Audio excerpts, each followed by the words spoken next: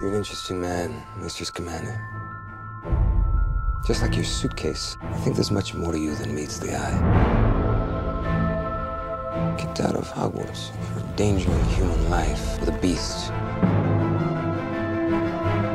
Yet one of your teachers argued strongly against your expulsion.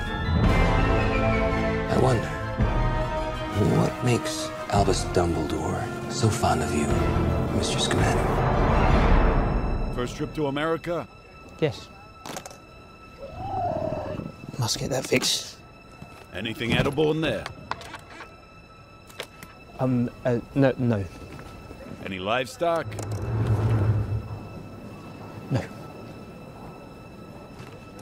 Welcome to New York.